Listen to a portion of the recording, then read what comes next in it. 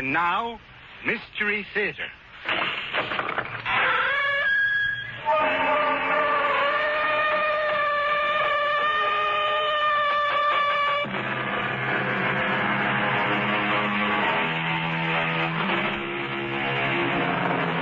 Come in. Welcome. I'm E.G. Marshall. You know, when I was a boy, I always thought the maps in an atlas were a fixed picture of the world that never changed. But certainly not in this century. New countries turn up every day. Old ones vanish or are renamed. I guess nothing is permanent. Styria, Carpathia, Transylvania are forgotten names on a map. I wonder if, if they are as defunct as the dread creature who came from there, whose two long teeth fastened on the victim's throat and drank his lifeblood. But if they are, they were not 70 or so years ago when this blood curdling tale begins. But I know you. And I you. From a dream I had. From a dream I had, too, when I was six years old. How long ago was that? Thirteen years. Oh, that's just when I had mine. Come, sit beside me on the bed and hold my hand. I have a feeling. I know we're going to be terribly close. You and I.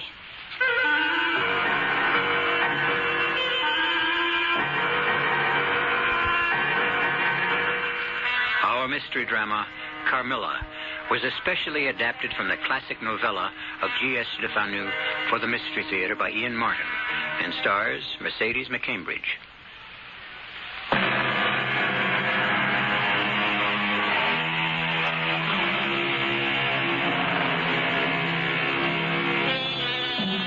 Styria, which these days on a map you will find is an Austrian province named Steiermark, Laura Stanton was born and brought up.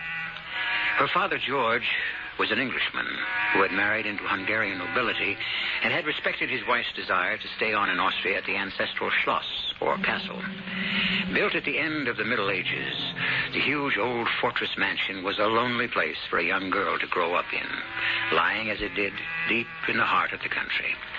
But since she took the time to write it in her old, cramped, but still beautifully trained hand, let Laura Stanton tell her own story. I started writing this over 50 years ago. But my confused and horrible reactions then persuaded me to lay it aside. But now, approaching my 90th birthday, I should like to leave a record of why I never married. I've only known the love of one person outside my father. A woman. That is a shocking statement, even today with all our liberation. How shocking an experience it proved to be for me at 19. It was so revolting and so soul destroying that it stood between me and love for the rest of my life. I am not talking of sex or a sexual relationship, certainly not in the ordinary sense of the word. But let me take you back to the year 1905 and a whole other world. Uh, damn it, that quite puts me out. What is it, Papa? A letter from General Spielsdorf, which arrived by the post. Late as usual, everything is these days. Sent almost a week ago from Vienna. From Vienna? Uh, must explain at moments. This arrives barely in time to tell me that he and his niece will not be arriving tomorrow. Oh, what a shame. I was looking forward to making the acquaintance of Fräulein Reinhardt. Even if the general had come, my dear, that would have been impossible. Why? The reason for canceling his visit is because of his niece's sudden death. Her death, Papa. But she was only my age. Yes, that's what's so tragic. Was he still coming here? No, there is some mystery. He appears to blame Bertha's death on some young guest they had. A mysterious young woman. Well, what could it have been, Papa? An accident? Or some sort of disease that was catching? There's no way of telling. I'm really quite shaken. My poor old friend. And I, I'm disappointed for you. Oh, Papa, you mustn't think for a moment about me. Well, I do all the time. Locked away in this great labyrinth of a mausoleum with no companions. Oh, I have you, and Madame Perrodon, the housekeeper, and my governess, Mademoiselle de la Fontaine. I meant companions of your own age, not dried up old sticks like us. Oh, you mustn't talk about that, Papa. You know I've always loved it here. Next year, we must move for the season to Graz, or perhaps even Vienna, so that you could meet some nice young gallants. Oh, hmm? I have a gallant who takes very good care of me. little creaky in the joints, I'm afraid. No, no, Laura. You're so retiring and self-effacing. It might be time to inject a little hussy into your bloodstream. Papa, I think we have talked enough about me. And as for how happy I am, just look out at our garden. Where else but at the Schloss could we see such romantic, misty beauty? Mm, it's a full moon. And a lovely, soft, clear evening. Shall we take a little stroll down by the drawbridge? A moment, dear Papa, till I fetch a shawl, and I'd love it. I have the strangest feeling that tonight something very special is about to happen. By the time we reached the bridge, the moon was high and brilliant, and as we turned back, the whole landscape was a mezzotint, shimmering and dreamlike. Hmm. This moon tonight is full of magnetic force, an odyllic influence, which if... Odyllic, Papa? That's a strange word. What does it mean? Oh, I'm sorry. I, I didn't mean to be literary. Actually, I'm being quite literal. It means the effect of one animal's magnetism upon the other. Uh, look back at the Schloss, for example. Oh, yes. All its windows flash and twinkle and reflect the silvery splendor. As if unseen hands had lit them all to receive some special royal guest. Uh, what's that? It's a carriage. But it's coming too fast. Step back, Laura, to the protection of this tree. It must be driven by a madman.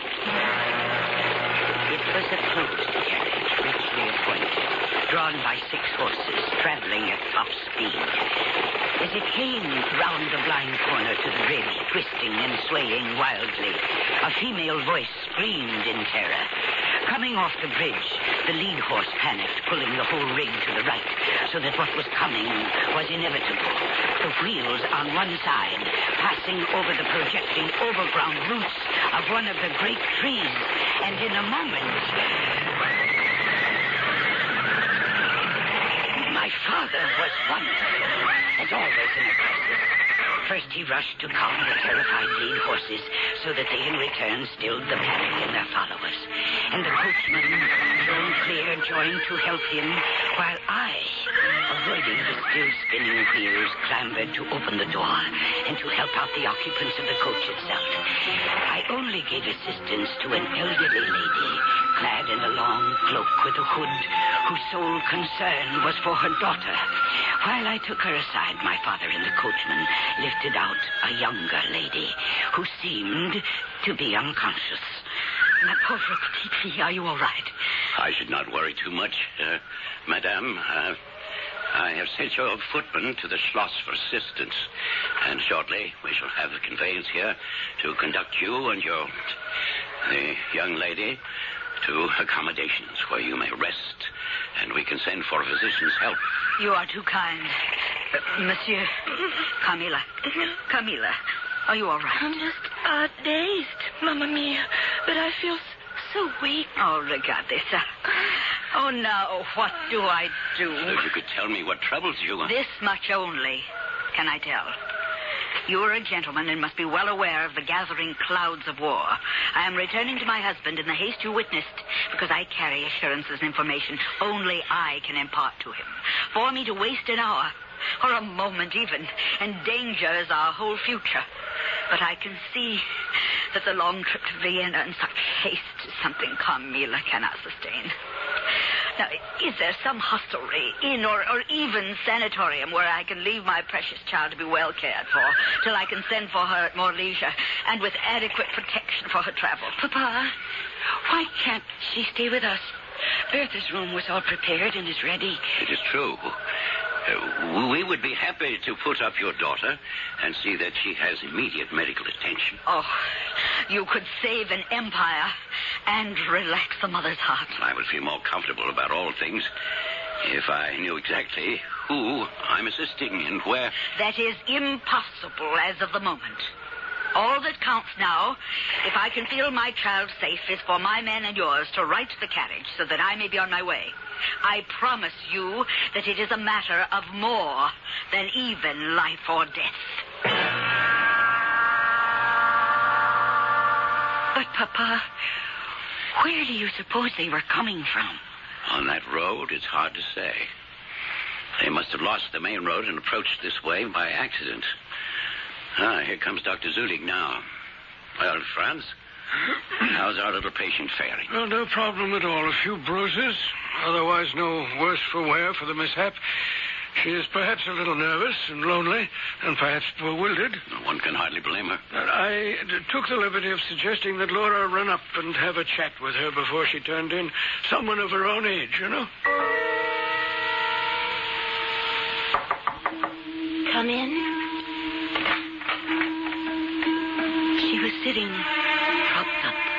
Huge bed, her hair framing her face, tumbling about her shoulders. And now, for the first time, I could see her face clearly as she saw mine, as we both gasped. But, but I know you. And I you. From a dream I had. From a dream I had, too, when I was six years old. How long ago was that? Thirteen years. Oh, that's just when I had mine. Oh, you must tell me, and I must tell you. But, but uh, you must be Laura, and my name is Carmilla, and we mustn't be strange to each other. Oh, come, come. Sit beside me on the bed and hold my hand so we can talk. I have a feeling. Oh, I know. We're going to be terribly close, you and I. Remembering that old, old dream, which had never ceased to haunt me, I should have been repelled. But instead, I was drawn, drawn irresistibly toward Carmilla. Would to God I had known that the fascination was not love, but an unhealthy spell. The flame for the moth, the spider's web for the fly. But I didn't know. And I went to her. And I put my hand into Carmilla's.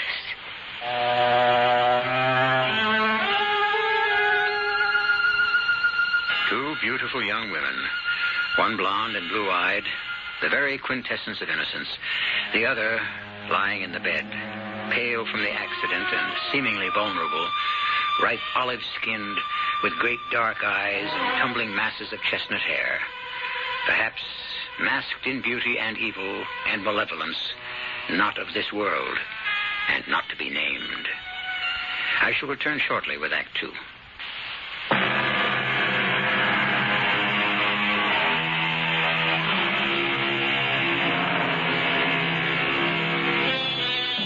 The old lady who writes this story of 70 years ago still retains much resemblance to that once blooming girl of 19. Oh, the china blue eyes are a little faded. The hair ash gray instead of golden blonde. But the figure is neat and trim and somehow vulnerable. Not only to the encroachment of 89 years, but as if it had always been so. We sat there, hand in hand, Carmilla and I, searching each other's faces. There was a silence of what must have been minutes. I could feel my heart pounding against my ribs at the wonder, the terror of that spectrally beautiful face, which at last was no longer a dream. How wonderful. Thirteen years ago, I saw your face in a dream, and it has haunted me ever since. Oh, it's wonderful indeed. Thirteen years ago, in vision or reality, I certainly saw you. I could never forget your face. It's remained with me ever since. It seems as if we were predestined to be friends. I want you to be my friend. Yes, I want to be yours. Well, we will, we will. and we must start with the first thing we shared the dream. There now. I can see you're shy. Oh, but that comes of being alone too much. So I shall start. I told you, it was when I was six. And I woke up from some troubled dream, and I found myself in a room that was nothing like my nursery. It had dark wood wainscoting and great heavy beams sloping over the bed. And did it have a big iron candlestick by the bed with two branches made out of Serpents, yes. And they held the candles in their mouths. That was my nursery. it's still there on the top floor, just as you described it. You see, it's more than a dream. Now I remember I was only six, and, and being in a strange room, I was scared, and I was about to cry out when all of a sudden this fairy princess with golden hair and blue eyes sat up in the bed next to me and held her arms out to me. it was you. As a child? No, no, no. As you are. Now. Your lips, red and full, smiling at me, beckoning me. I climbed in beside you, and you put your arms around me. And softly, so sweetly, I went to sleep. And that was all? No. No, then there's the bad part, but I I, I put that out of my mind. I, I don't try to remember that. No, no, no, you must tell me. Well, very well, because we must have no secrets from each other. I don't know how long I've been lying there with you, and suddenly a scream awoke me. My scream. Yes, yes, you were sitting up in the bed screaming, and I was terrified, and I slipped to the ground, and and then suddenly everything was blank until I woke up again in my own And hasn't this dream haunted you and tortured you all these years? Haunted, if you want. Say rather, I've never forgotten it. But why should it torture me? What I remember most is the love and the warmth that came from you, and how often I've longed for my beautiful golden lady. Would ever think I'd find her again? It's all so eerie. I don't understand it. It's so topsy turvy. What do you mean? Tell me about your dream. Well, it was just the other way. I mean, I was six years old, and nobody ever worried too much about me because I was never told ghost stories or fairy stories or anything that might wake me up in the night and worry me. So, this one night when I did wake up, which was unusual for me, I, I wasn't worried or frightened. But where were you? I was in my own bed. And was it the only bed in the room? No, there was another bed my nurse used to sleep in, but by now it was empty. Except that when I looked over there this night, it wasn't empty. You were sitting up in it. Me, the child. No, as you are now. And you came to my bed with your great dark eyes and your hair streaming down your back. And I thought I had never seen anything so beautiful. And did I get into your bed with you? Yes, you did, only it was you who took me in your arms, and you held me, and you soothed me until I fell fast asleep. And I didn't wake up or scream. No, I was the one who did that. Because I suddenly had the sensation that two needles had been run deep into my chest at the same moment. And were there marks on you? No, the doctor found nothing. Oh. I seem to have known you so long. I never have had a friend, a real friend. Have I found one now? Of course, Carmilla. Then kiss me and promise me it shall always be so. Oh, my dear one. Welcome at long last. Yes. I feel as though I'd come home.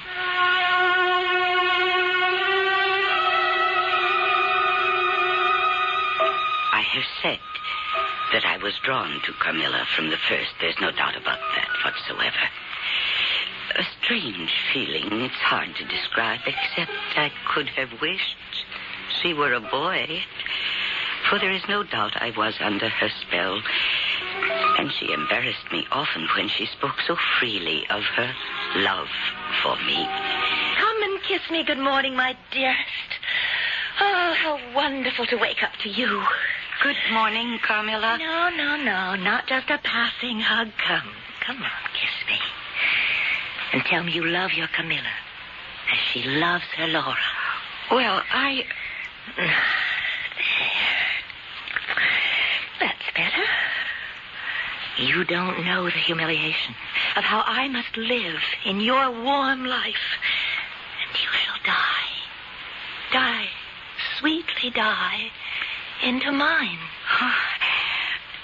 I don't understand you. Just never seek to know more of me and mine. But trust me with your loving spirit. Come, come, come. Kiss me again.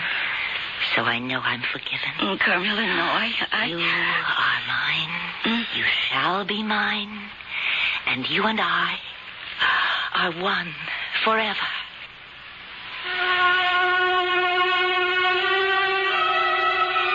I seem to be showing you the worst of her. Because at most times she was sparkling and a vivacious talker. She kept my father and all of us in rounds of laughter with her bright wit. The apathy which afflicted her was only bodily. Her mind was always alert. Laura, are you afraid to die? Oh, yes. Everyone is. But to die together, as lovers may, so that they may live always together? Oh, that's something I'd rather not talk about. Oh, I just remembered. What? We must go meet the family. The family? Yes. Didn't you notice there were no pictures in the gallery? They've all been to the restorer, and today's the day that they're to be returned and rehung. And most of them are from my mother's family. She was Hungarian, you know. It should be quite exciting. Oh, just some musty old portrait? Just exactly what they were. They were so covered with smoke and the grime of centuries. I've never really seen any of them. Come along, Carmilla. Do let's go have a look.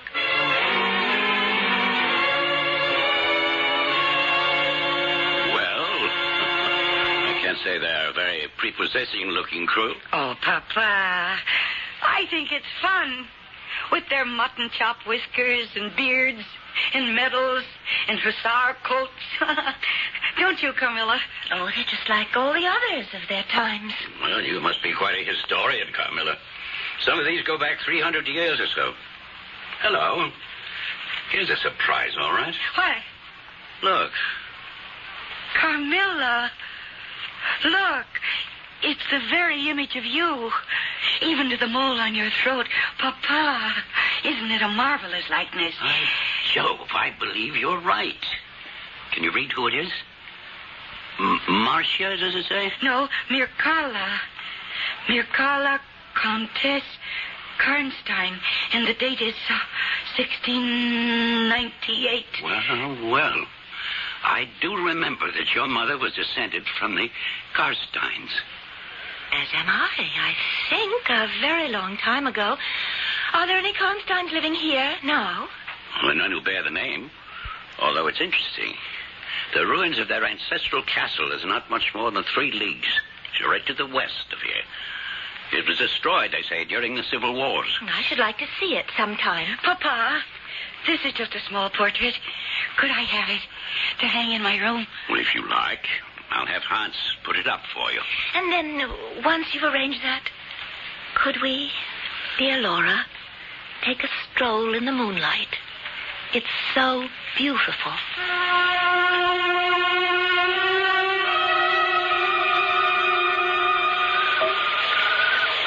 Here we are at the drawbridge. It's also like the night you came to us. So you were thinking of the night I came. Are you glad I did? Oh, ever so much. Someday, when you tell me your story, I know it'll be made up of one great romance. I'm sure that you have been in love and that at this moment there's an affair of the heart going on. I have been in love with no one. I never shall. Unless it should be you. Carmilla, Darling, darling, I live in you. And you would die for me. I love you so. Carmilla. Carmilla, are you all right? I'm a little. It will pass. It's the last time, perhaps, that I shall see the moonlight with you. What do you mean? The time is very near when you shall know all. She was so weak, I could scarcely get her safely to bed. It was long before I could get to sleep, but when at last I did, if indeed I really was asleep, I was conscious of something huge and black circling by the foot of my bed, a monstrous cat-like shape that suddenly sprang, and I felt the stinging pain as if two needle-sharp claws had plunged like hot irons into my breast. And then suddenly my eyes were open, and I thought I saw Carmilla standing there. And I felt relieved. The figure moved quickly to the door, and I followed it, only to find the door securely locked from the inside, just the way I had left it before I retired. I sprang into my bed with the covers over my head, and I lay there, more dead than alive, until morning.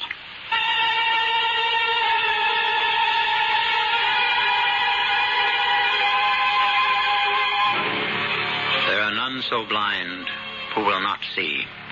And yet it is only human nature to lift the spirits by saying that no disaster, natural or supernatural, could ever happen to us. Is it happening to Laura? Or is she only a young girl with a lonely childhood behind her and a very lively imagination? I'll return shortly with Act Three.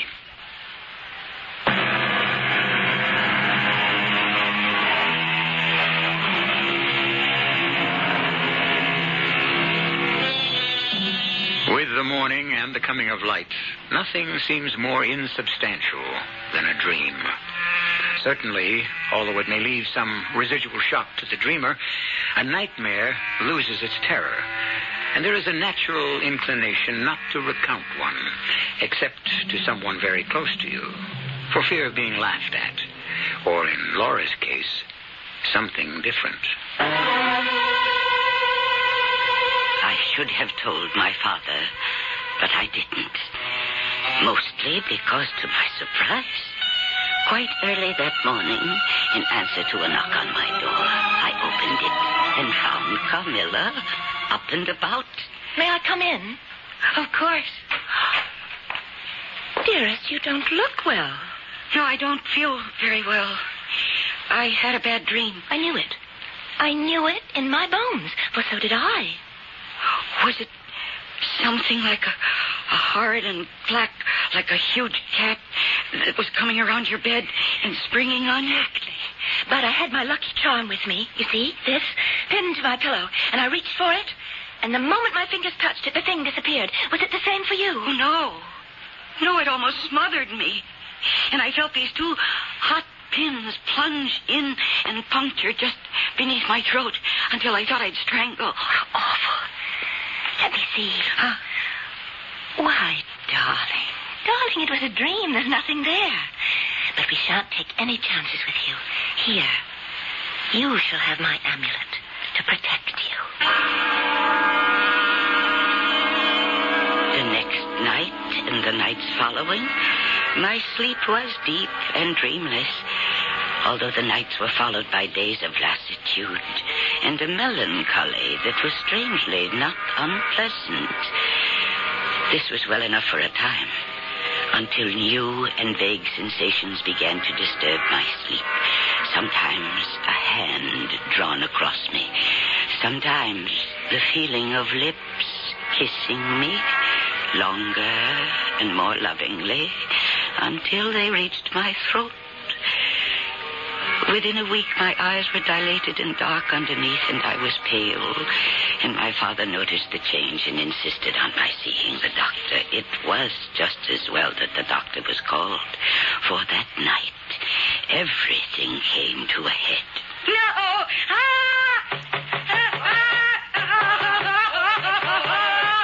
Yes, yes, Papa. Yes, I'm coming. What is it, my darling? What is it? Here, little one, I'll get your robe and slipper. You're shaking like a leaf. What is it? Oh, Papa. I was asleep. I was sound asleep. And all of a sudden, there was a blinding white light. And I saw Carmilla standing at the foot of my bed in her night dress.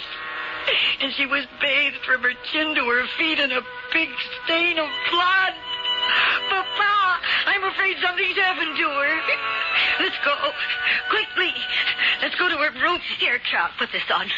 Now, and the slippers. Thank you, Madame Perrodon. Carmilla? Carmilla, this is Mr. Stanton. Open the door. Can, can you hear me? Carmilla, it's Mr. Stanton. Open the door. Oh, Papa. Suppose something terrible has happened to Carmilla. Madame, ring for the servants. Get them up here right away. Oh, Papa. You better have them break the door down. The men arrived in various states of undress, but the door and the lock proved too stout and resisted all their efforts. Papa then directed one of the footmen to bring him his large elephant gun, which he had used on safari in Africa. A heavy charge broke the lock, shattering the door, and Papa and I burst into the room.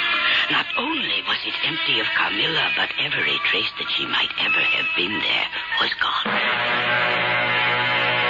Carmilla had disappeared into thin air as if she had never been.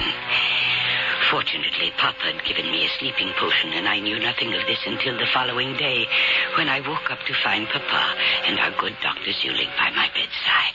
Your father has told me the whole story, Fraulein. You mentioned a sensation as of two burning needles piercing deep into you somewhere about the neck on the occasion of the first horrible dream. You mean when I thought I saw the black cat? Yes, yes. Could you indicate to me with your finger just where you think this occurred? Uh, right here. Ah, let me see now with the magnifying glass. So. What is it, Herr Doctor? Uh, please, with the glass, you may see for yourself. Observe just below the throat. Good Lord. What? What is it? Uh, Just where you said a small blue spot, and in the center of it, two tiny sharp punctures. That is the point where the sense of strangulation seemed to begin. Yes. Well, then I don't see why you shouldn't begin to get well immediately. But she must not be left alone for a single moment. There were a thousand unanswered questions I now wanted to ask Papa and the doctor, but I never got to ask them. For as it happened, a most unexpected visitor, General Spielsdorf, arrived at this climactic moment, and it was his bizarre and harrowing story which eventually answered all my unanswered questions. Shortly before my poor child, Bertha, and I were to visit you, we had an invitation to Count Carlsfeld's Schloss, some leagues to the northwest of Karnstein. The occasion was a magnificent masquerade ball. I felt like the only nobody present.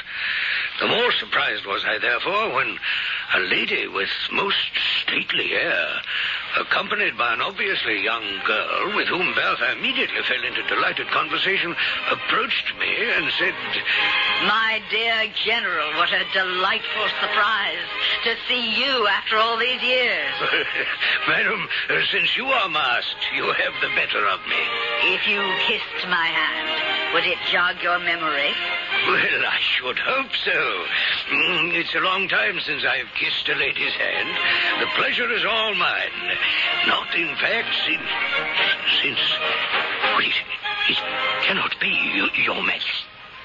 It's only at the greatest risk that I'm here, and at all odds I must preserve my anonymity.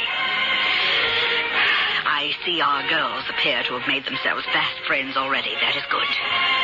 I have an urgent request to make of you. Well, I am yours as always to command. I am in the gravest danger every moment I spend here, and I've been quite desperate to know how to protect the young lady who is my companion. Could you take her in for a few weeks, at most, as your guest? Madam, I should be more than delighted. And I'm sure that Bertha will welcome the companionship. Well, then let me introduce you to my ward and be on my way. I assure you, it is a matter of life and death. Papa, it's just the same. It's just like Carmilla and the lady. Ah, yes, the lady that I, too, like the general, mistook for royalty. even for the Empress herself. Well, go on, General. What happened? It couldn't have been the same as it was. I am afraid so, my dear. My poor Bertha suffered from the same dreams as you of a great black animal and the piercing double good long punctures beneath the throat. She was wasting away, despite all potions and powders the doctors tried, till one of them suggested what seemed a piece of arrogant nonsense to me. What? Legend has it that 200 years ago, the Countess Karnstein Mircalla by name. Papa, that's the one who looked like Carmilla, the portrait I. Ah, hush, hush, dearest. Finish, General. Yes. Your father has told me about Mircalla, and I have verified her existence from other sources. What the doctor told me was that she was a vampire and has never died. I would have scoffed at this, except, well, because of my birth, I was so desperate. I concealed myself in the closet the last night before her death. Papa, I don't know if I want to hear what happened. You must. You must listen. There was a full moon that night, and it flooded the room. My beloved Bertha lay wasted and worn beneath the coverlet, deep in a sleep almost as profound as death. Suddenly, beside her bed, a black, amorphous shape bubbled up out of the pure moonlight, moving toward Bertha as though prepared to smother her. General, what do you do here? For stop you, Millarca! You have no power against throne! We shall see. Rather than let you harm Bertha more, I will cut you to...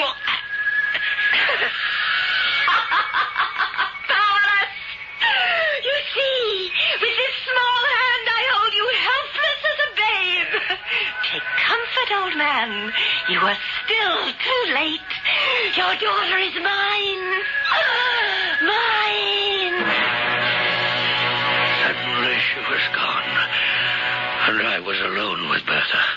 And by the time I was by her side, she had passed away. Oh, how awful. That is not the worst. If this friend, call her Carmilla, Millarca, Mircalla, what you will, is not found and exterminated forever, your daughter is her slave, and even you. But Carmilla is gone. How can we find her? Papa, what can we do? We are leaving for Constantine immediately. We are going to open a grave.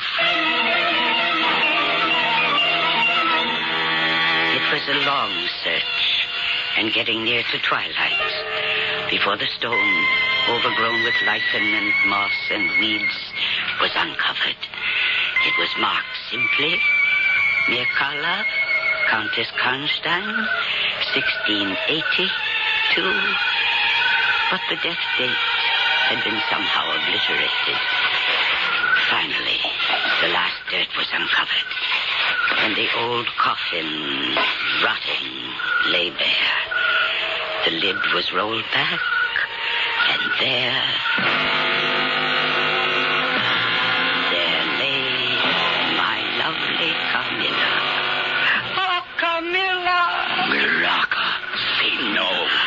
one whose grave it is, the Countess Mircalla. But see how her face is tinted with the warmth of life, Papa. Look, her eyes are open. No cadaverous smell from the coffin. She still breathes faintly. The coffin floats nearly seven inches deep in blood. There is your vampire beyond a doubt. Priest, to save my daughter, do your duty.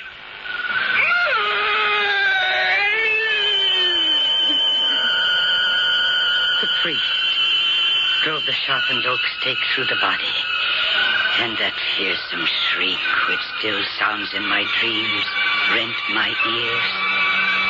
But I know now, more and more as the years have passed, that it was not Carmilla who died, but that ancient, two-century-old corpse who had roamed in lonely agony till at last she was brought home to the peace of God.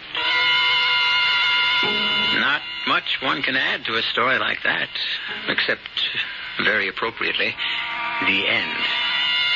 You can sleep safely tonight, wherever you are, especially if you are young and a girl. For Carmilla, Millarca, Mircalla, whatever name you prefer to call her, will not haunt your dreams. I'll be back shortly.